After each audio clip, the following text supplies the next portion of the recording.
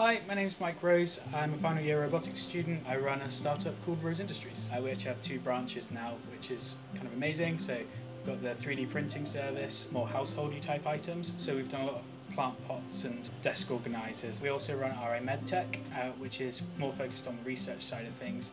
So developing the prosthetics is our long-term goal, but we're also developing smaller projects such as a gyroscopic cup holder for wheelchairs, and also more recently we actually designed a reusable ice cream cone. The earliest research projects that I got involved with were actually at the end of my first year. I started with Dr. Appolinaire Etoundi uh, in the BRL. Uh, I was invited to assist with a prosthetics project where we were looking at the discomfort caused by standard NHS prosthetic sockets, uh, which is where I got to meet the lovely Tania Goddard. Yeah, what, what I'm is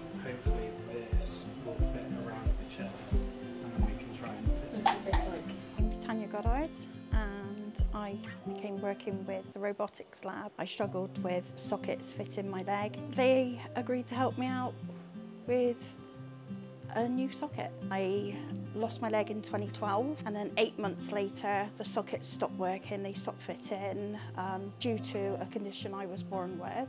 So Mike and the team, um, I gave them a really good challenge that if somebody has swelling within their socket, it means they cannot wear that socket. So my challenge to them is make a socket that will actually accommodate different levels of swelling.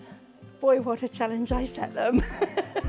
I gave up for a little while on a prosthetic leg until I met Mike and the team and all I want to do is get back on two feet again. During a research project that I was doing with Tania Goddard, brought up an issue she was having with carrying hot drinks, which led to the development of the gyroscopic cup holder. Obviously when you're in a wheelchair you need your arms to push, so carrying anything is practically impossible. I did place a coffee cup in between my legs and tried to move and got scolded. Spent a couple of hundred pound in total on different types of cup holders. I've ended up smashing them off when I put the wheelchair in the car or door frame. So when I was working with Mike and the team on the socket, I was sort of like, okay, let's see what we can do here. So I set them yet another challenge and it was in fact to come up with a cup holder. The aim is to be a, quality of life improvement for uh, wheelchair users where they'll be able to move around with the coffee,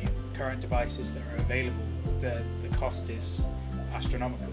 Um, so the whole purpose of what we're doing is trying to, to tackle what's known as the disability tax uh, and produce usable hard-wearing products we can then open source and be allowed to be 3D printed anywhere in the world. I think Mike's great. Um, I've really enjoyed working with him these past few years. Uh, so what's up next for me is I'm going to be working as a research associate for a little while for the university uh, and then I'll be moving on to a PhD overseas which I'm really excited for. Um, I just can't wait to see what happens next.